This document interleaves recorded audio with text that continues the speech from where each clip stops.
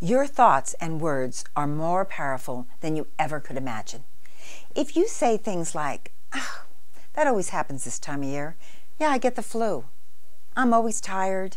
I'm not going to have the money to go on that vacation. I can't get a new car. That's exactly what you manifest in your life because that's exactly what you draw to you. And is that what you want? The first person you have to convince is yourself. So change your inner dialogue.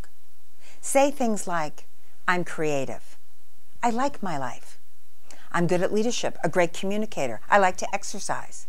Now, I'm not telling you that that's exactly what's going to happen instantly. But when you start believing it, you attract it to you. It happens. So start saying things like, I have, I create, I master. Now, if you want to lose weight, do not say, I am not fat, because what do you hear? The word fat. But you can say, I'm healthy, I'm energetic. I put little post it notes on my mirror, and I see them first thing in the morning. I also put them on my steering wheel to remind me that I am the one in charge of my thoughts and my life. So change your negative statements to positive statements, and transformation will happen in your life.